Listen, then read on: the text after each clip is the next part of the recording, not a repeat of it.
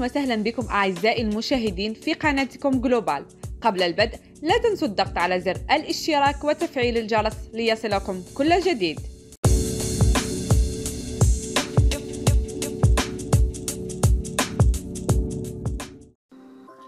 رسالة رئاسة الجمهورية كانت واضحة وصريحة.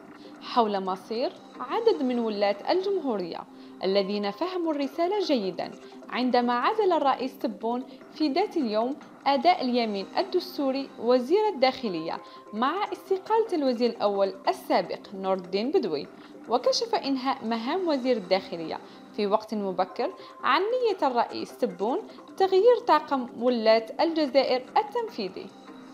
ويدرك الرئيس تبون أكثر من غيره بحكم عمله الطويل كوال صعوبة المهمة التي تنتظره. ويدرك تماما أن تعيين الحكومة أسهل بمراحل من تنفيذ حركة تلك ولاة الجمهورية. كما يعرف تماما أن ولاة الجمهورية في النظام الجزائري هم القاطرة الفعلية للتنمية ومحرك عجلتها وهم وحدهم من سيصنع الفرق. وقد أفادت معلومات متطابقة أن رئيس الجمهورية عبد المجيد تبون سيجري حركة تغيير واسعة في سلك الولاة وهذا لمباشرة تنفيذ مخطط عمل الحكومة الذي سيعرض على البرلمان قريبا.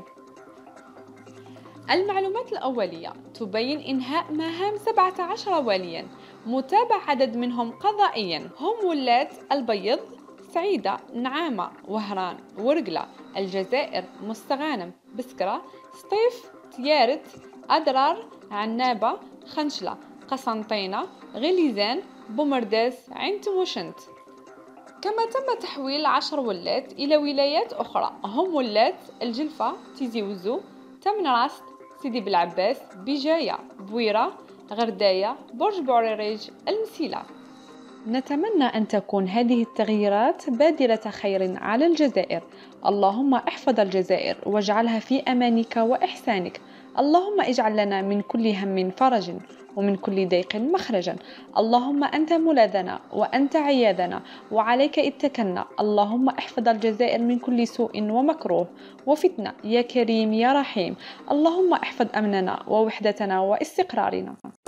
ليصلكم كل جديد. لا تنسوا الاشتراك بالقناة ودعمنا. دمتم في رعاية الله.